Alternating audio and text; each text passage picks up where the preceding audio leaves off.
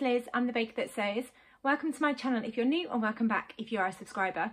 As always, it's really lovely to have you here as I share my sewing journey. So welcome back to my channel. Today's video is going to be all about some of my favourite patterns for autumn and winter. Um, I'd originally thought that this video would be all about my top five patterns, but actually when I started writing them all down, I found it really difficult to just stick to five. So I've tried to cover sort of all the bases. So I've got a jumper, I've got a pinafore dress and skirt pattern, I've got trousers, dungarees, um, I've said jumper, what else have I got? cardigan skirt, pinafore trousers, jumper, dungarees, coatigan slash jacket and dress. So it's covering all aspects of what you might want to wear in the autumn and winter. Um, these are patterns that aren't just exclusive to autumn winter, but that is my focus for today's video. So I am wearing two of the patterns that I'm going to talk about, but I'll let you know what I'm wearing. I'm wearing one of my favourite jumper patterns. I've talked about these loads on my channel. It's the Nina Lee Southbank sweater. Um, so I've done the version that's cropped, but I've added the band and I'm going to talk about those different versions soon. It's got cuffs, one of my favourite things to do in autumn is do this and be all snuggly and I really love the collar detail. This is in a um, really fun sort of dinosaur print that I got from Sew Me Sunshine because I wear this jumper to work. And then I've got it on with the Tilly and the Buttons Bobbi Pinafore dress. So it's a dungaree dress, it's got buttons going all the way down, really lovely deep slanted pockets. And it's got a waistband and then there are belt loops if you want to wear a belt. And then it's got I hope my straps aren't twisted but it's got straps that go across. It's quite fitted at sort of your um, waist and then it stops just above your knee. So I've just got it on with tights which is how I like to wear it in the autumn and in the winter I like to put on really thick woolly tights this outfit would also work with a coatigan and it would also work with a cardigan as well. And I really love that you can pair the Bobbi pinafore dress um, with like a really warm snuggly jumper underneath as well. Um, and it works really well with the Southbank. So that's what I'm wearing. Where possible with lots of different patterns that I talk about, they're all patterns that I have made. Um, and that was really important for me when I was um, choosing what patterns to include for this video. There are so many patterns out there, but I didn't want to share a pattern that I haven't actually sewn up yet or worn in the autumn winter. So these are patterns that I have sewn up. I've got experience sewing them up, me wearing those so I can put images in throughout this video. I'll link all the patterns down below. I won't be able to link any of the fabrics I'm afraid because quite a lot of these makes are quite old so I won't be able to link any of the fabrics that I used. I have got my trusty notebook, so if I do look down, it's because I've got some information in my notebook, particularly around sizes. Um, I've got most of the patterns printed, so I can show you them, but for a couple of them, I'll have to put in images of what they look like. So let's get started. The first pattern I wanted to talk about is a relatively new pattern to me. I did a collaboration with the lovely Becky, Notes from the Sewing Room, using this pattern. Sorry, my buckle keeps shining in the light. Um, I did a collaboration with Becky using this pattern. It was a relatively new pattern to me, but I know it's a pattern that's been out for a while and loads of people have got in touch to say that they absolutely love this pattern. So I'm going to grab the pattern booklet. I'll show you one of the versions that I've sewn up. I've actually sewn up two and I have got plans to sew up a longer version of this cardigan. I think the look of the cardigan and the style of the cardigan lends itself really well to layering, which is why I've chosen this cardigan pattern. So the first pattern that I wanted to talk about is this one. It is the Pattern Emporium Grab a Cuppa Cardi, and I really want to sew up this version, so this longer length version. I've sewn up a couple of the cropped cardigans, and I've got my version here, so I'll pop it on um, so as you can see, it's quite an oversized cardigan, so it works over the top of a Southbank sweater um, and actually goes nicely with the pinafore dress as well. With the Grab a Cuppa Cardi, there are three different variations. I'm going to have to take this off in a minute because I'm quite warm, but you've got this longer length one and then you've got this sort of hip length and then you've got a cropped version. I've sewn up um, this version. I thought it was the crop, but it's not. It's this version. Um, this one I think would be perfect for the autumn winter. I think you could really wrap yourself in a really cosy, snuggly cardigan. And because it's quite an oversized look, it would go with quite a lot of your makes already.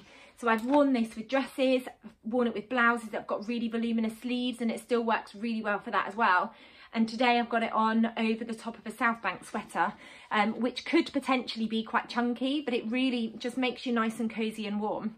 Um, it's a gorgeously oversized cardigan um, with the aim of you lounging around in it. Um, it's drafted to enable wearing layers underneath, including sweaters and jumper sleeves, and it features a dropped armhole, generous sleeves, and easy to fit cuffs. Again, in the autumn winter, I love anything that's got a cuff because you're going to be able to get yourself nice and snuggly and warm. I'm going to take this cardigan off now, but I've sewn up two, one in this sort of peachy colour and one in like a blue colour of rib knit fabric. Um, it can be sewn up in a range of fabrics. So they recommend, let me see what they recommend. Um, it's designed for stretch knit fabrics, both four-way or two-way stretch knits with vertical, vertical give work really well. Um, it's fabulously trans-seasonal and can be made in a bamboo, crochet style knit or mesh for a spring summer cover up or a sweater knit, luxurious merino wool or thick rib knit for a cooler weather. So I've got this thick rib knit fabric and it definitely adds a layer of warmth. There are three different finished lengths, cropped, hip and long, so it's like mid-thigh length. V-neck with a wide band opening, fabulously full sleeve, which is perfect for layering, easy fit cuff, wide banded hemband. You can either open or add buttons. I've chosen not to add buttons, but you could add buttons if you wanted to, and you can see that on some of the line drawings. These ones have all got buttons. Um, so if you wanted to make it even more snuggly, you could add buttons patch pockets on the hip and longer lengths, an easy short sleeve pattern hack. Um, so I really love that about the pattern. It's really versatile. There's lots of different options. You can have buttons, no buttons, lots of different options with pat with um, there's lots of different options with pockets as well. And dependent on the fabric that you choose to use with this pattern, you'll get a very different look. And also you can make it last throughout all the different seasons. So that was my first pick thinking about autumn winter. So the next pattern I wanted to talk about is a free pattern and it is the Sabina skirt by the Little Pomegranate. And the reason I've picked this one is because again, I feel like you could really layer with this pattern. I've made quite a few versions. I've made one in a, um, I think it's a viscose linen, which is like a navy, and it goes really nicely with things like the Southbank sweater. Also goes really nicely with a polo neck tucked in. Um, and then you can also pop on a cardigan as well. Works really well with tights and boots, but equally it works really well in the summertime too. So I'm just going to grab the pattern so I can share it with you. Um, it's great, it's a free pattern um, and it's got a really great size range as well. So it's aimed at beginners um, and they suggest using woven fabrics. The sizes that the pattern comes in is size 6 to 34, so that's UK sizes. And it's a pattern by the Little Pomegranate and it's called the Sabina skirt. And I really love um, how it's been sort of styled here with that really lovely sort of oversized jumper tucked in. And this is perfect for like autumn and also for winter. I've paired mine with some really thick woolly tights and ankle boots um, with an oversized snuggly jumper. Equally, a sort of tight fitting jumper would work really nicely with the skirt as well. And then you could pop a cardigan on or another jumper over the top um, to add sort of layering. It also means that this skirt can work throughout all the seasons because you could wear it in the spring, summer without tights and just with a t-shirt tucked in. I've also worn mine with a blouse tucked in as, as well. So, um, it's a gathered skirt which sits on your waist, designed for easy fitting. It's got an elasticated waistband, gentle shaping at the hips, roomy pockets and a ruffle hem. Um, it's been designed with beginners in mind, so the instructions have got loads of helpful tips and it's also a free pattern, which is amazing. In terms of fabric recommendations, they recommend light to medium weight woven fabric, so fabrics that don't stretch, like cotton, lawn, poplin shirt, shirting, seersucker and linen. Um, if you want a more drapey fabric, like a viscose rayon or tencel twill or crepe, it gives a more floatier look and a more fluid skirt. Um, this is the line drawing. It's got these really lovely slanted pockets um, and I just really love it. I really love the addition of this ruffle as well. It stops sort of just below your knee, sort of mid-calf. It's a really lovely, versatile pattern and it looks really different dependent on what fabric you use. This viscose fabric um, and that means that it's really drapey. Um, but let me just find, yeah, so you've got the elastic through all of the waistbands, the front, and the back and it creates that really lovely gathering. This is just a green viscose with sort of black dots all over it and then you've got that ruffle at the bottom and then it's got these really gorgeous slanted pockets which are really deep as well so perfect for putting your tissues and lip balm and things in. This works really nicely like I said with a jumper just tucked in or just over the top of it and I really really love this skirt because it feels really stylish and I just really love the length of this skirt and how it feels when you've got it on you can dress it up or you can dress it down and um, it's really versatile pattern So that's the second pattern I wanted to share with you today. And then on to the pattern that I'm wearing, which is the pinafore and skirt. So there's a couple of pinafores that sprung to mind. This one I've sewn up a few times. And what I really love about this one is that you can sew up a pinafore or you can sew up a skirt. And the pattern is the Bobbi Pinafore and Skirt pattern by Tilly and the Buttons. So here it is. This is the pattern.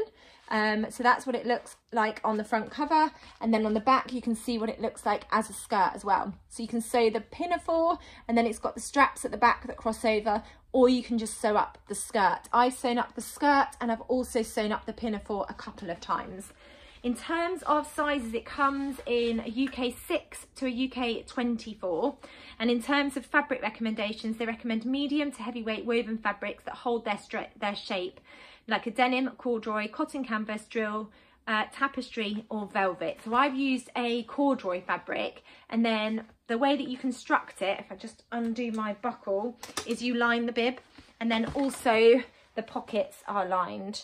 Um, it gives a really lovely shape. I like that it's quite fitted here. I'm going to struggle to fasten it up now. Um, I really love the fact that you can sew it up as a pinafore dress, but also as a skirt. I really like that you can get lots of different versions with the patterns, and I've tried to choose patterns where you've got a few different options um, when you buy the pattern. It comes in paper and PDF. Um, and I've sewn it up in a denim, but I've also sewn it up in a corduroy. And again, it goes really nicely with jumpers underneath, t-shirts underneath. I've worn it with my Anthea blouses. And if I wore an Anthea blouse, then I would definitely put a cardigan over the top of it.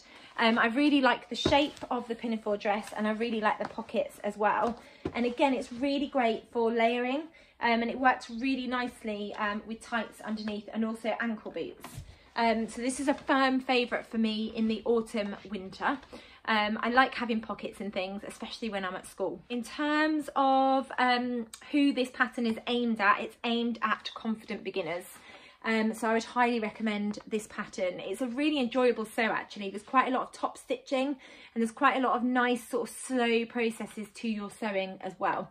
Um, and it was fairly straightforward to put together. Tilly and the Buttons um, pattern instructions are always brilliant. I would definitely recommend that one. That was pattern number three, thinking about autumn winter. And then on to some trousers. So I have got a couple of trouser patterns that are a firm favourite for me in the autumn winter. Um, the most obvious would be what I've been sewing up recently, was, which is the Anna Allen Persephone pants. But when I was putting this video together, I wanted to try and include patterns where possible that had a range of sizes. So I've actually gone for another firm favourite of mine. I haven't sewn it up recently, but I did sew it up quite a lot last autumn winter. And it's a pattern by Nina Lee and it's the Portobello trousers. So again, I've got the pattern and I've also got a version here just to share with you. But with all of these patterns, I'll put in images of the versions that I've sewn up so you can see what it looks so like. So here is the pattern. Um, and this is what they look like. They're a high-waisted trouser um, and they've got this sort of really fitted but quite narrow waistband. They've got a zip in the back and also a button on the waistband. They're quite wide fitted and they have got pockets.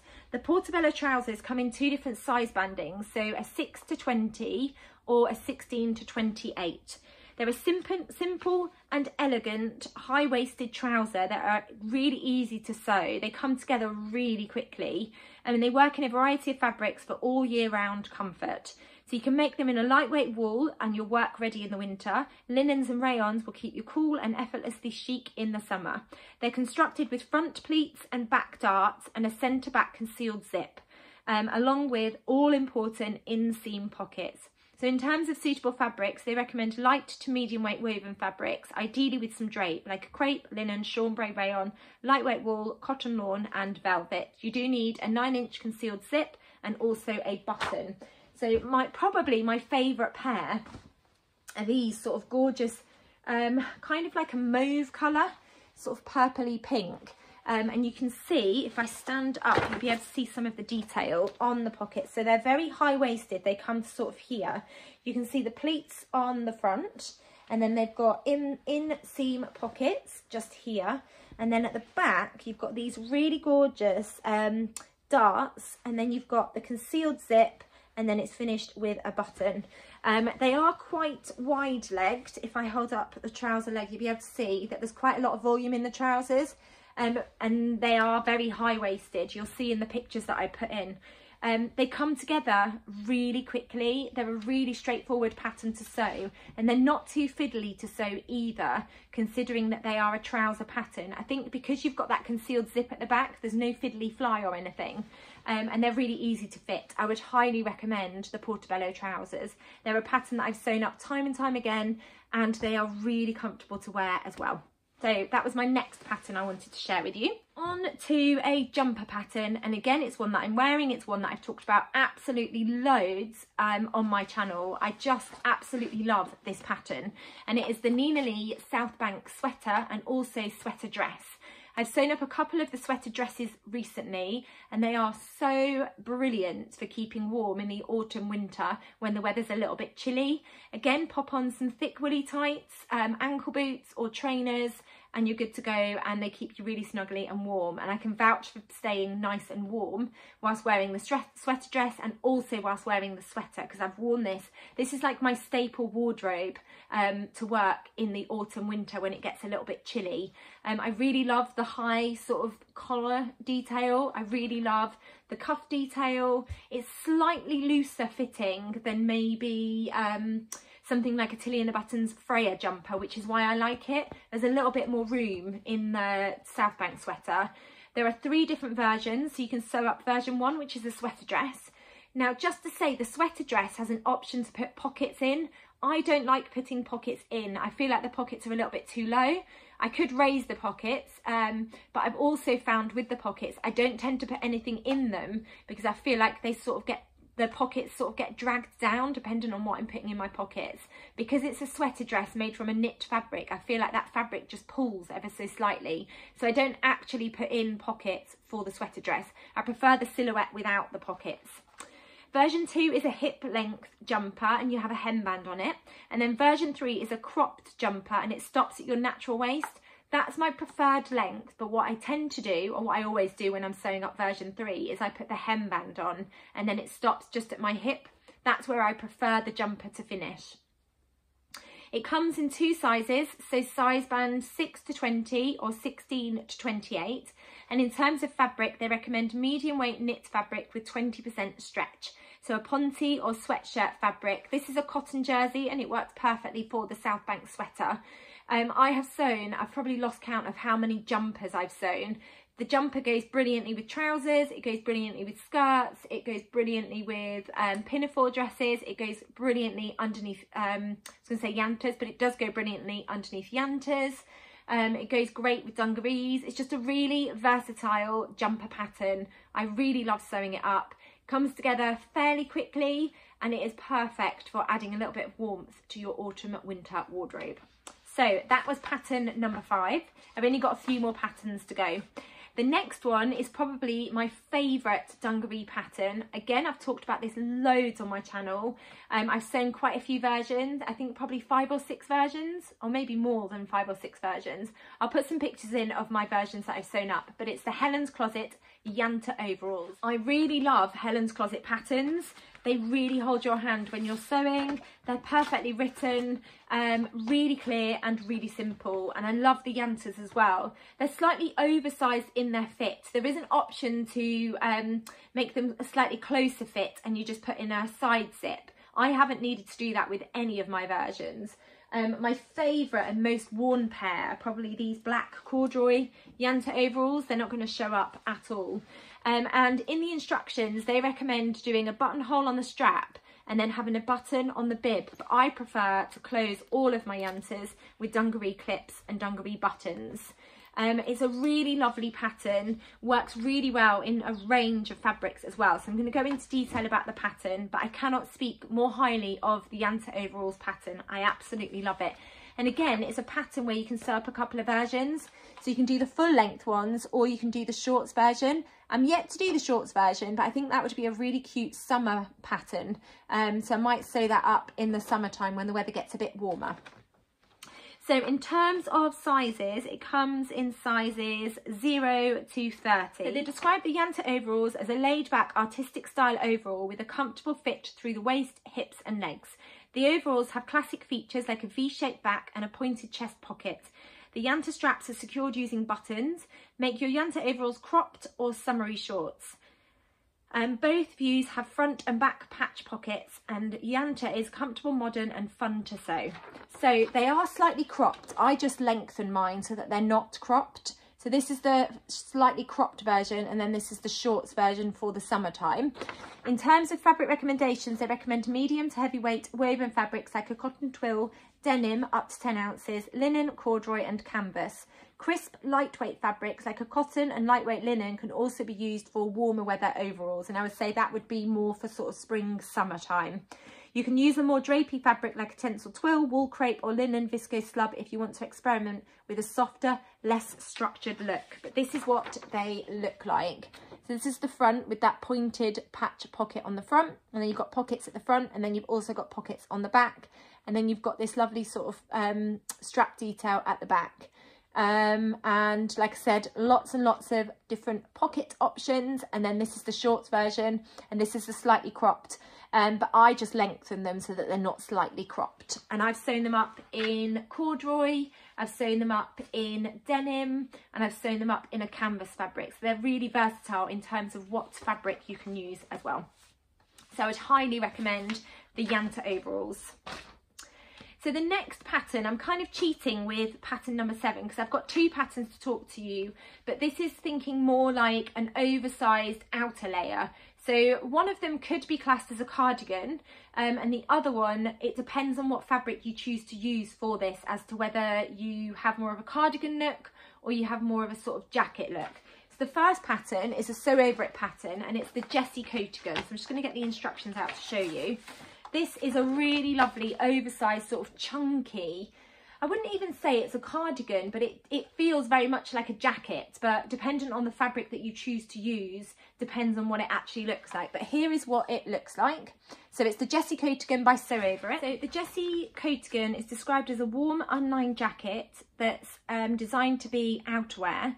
It's a cross between a coat and a cardigan. And it's got a swing shape to the jacket, a shawl collar, drop shoulders and then really deep pockets. Um, this is the version that I've sewn up using this really gorgeous like knit, uh, kind of like a knit wool fabric that I got from Fabric Godmother in this sort of um, tartany effect, I guess, fabric.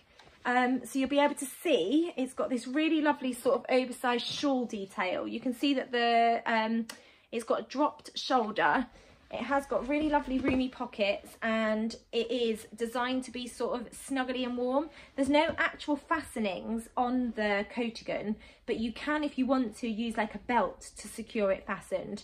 I don't tend to.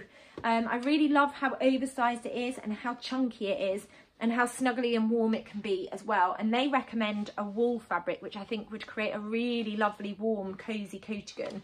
Because of the fabric that I've chosen to use with this, it's like more of a knit fabric. It has got stretch to it. This gives more of a cardigan sort of vibe to it. But I think if you use the wool, it would definitely give more of an outerwear layer.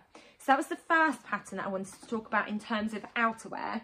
And then the other pattern is a pattern I've sewn recently in a really lovely chunky fur-lined corduroy fabric. And I've seen so many gorgeous shacket type um, versions of this pattern sewn up in like a flannel fabric, which is quite a thick, bouncy fabric.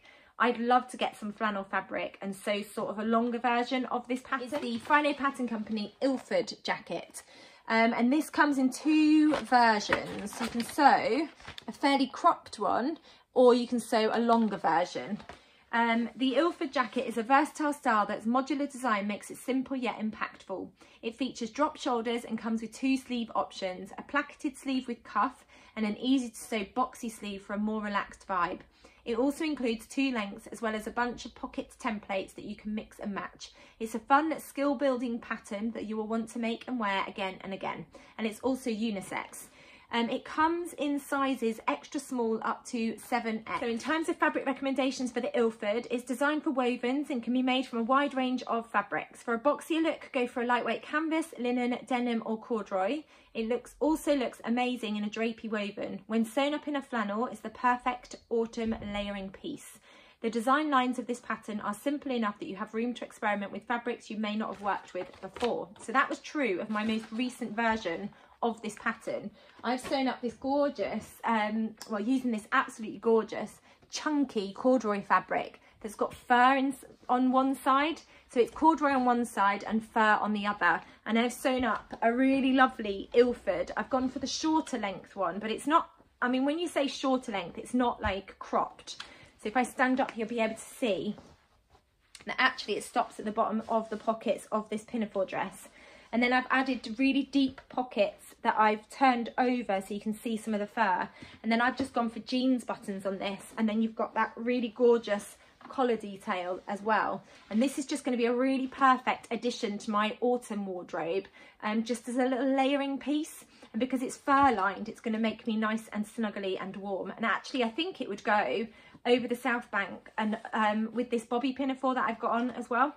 I'm going to take it off now though because it's quite warm in here. Okay, the final pattern that I've got for you is a dress pattern and I found it really hard to narrow it down to one dress pattern. And the reason I've gone for this dress pattern is because it is quite a versatile pattern. I've sewn it loads. I think I've probably got about eight or nine of this dress in my wardrobe. It's a dress that works all year round. The instructions are really straightforward and hold your hand. Um, it can look really lovely and smart because it's part shirt dress. So you've got the shirt on the top and then a lovely gathered skirt on the bottom.